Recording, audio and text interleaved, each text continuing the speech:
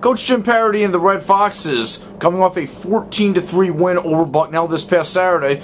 Coach, talk about how all three phases contributed to that win.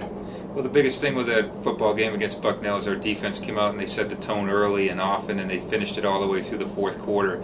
So they were uh, dominant in the game. So it was a great defensive performance for us. The offense, we we progressed from week one where we were a lot of three and outs in the game, and uh, so they they actually did a good job of not getting too many three and outs early on. We scored the touchdown in the first half, gave us a seven nothing lead, but uh, we need still some more consistency with it. And then the kicking game, we were really led by our punt team and Kevin Pauly. We down two inside the five, which created long field for Bucknell to go, and uh, really uh, made it a difficult situation that they had to go 95 yards, and our defense stepped in and gave us good field position on the offensive end. With the bye this week, how does that affect your schedule for this weekend next week? This week we, we cut practice a little bit short during the week. Uh, we only practiced on Tuesday and Wednesday, trying to freshen the guys up a little bit from the preseason work in our first two football games. And so uh, we gave our younger kids some work in some scrimmage situations so we could evaluate them and really looking to get ourselves healthy uh, to get into the next week's game against Morehead State.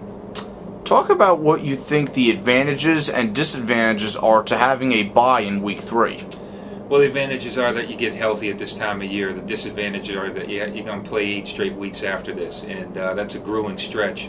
Uh, preferably I'd like to have one in weeks five or six or after week five or six like we've had in, in, the last couple of years but you don't set your schedule that that way you have to take the games in the league and now that we have the uh, eight game league schedule it's hard to get uh, the byes in the middle of the season just because of the way the, the schedule's set up but right now you have to take advantage of it get healthy as much as you can get them ready to go and their legs back to completely preseason before preseason started and, and really start that way and then not wear them down too much as the season goes along.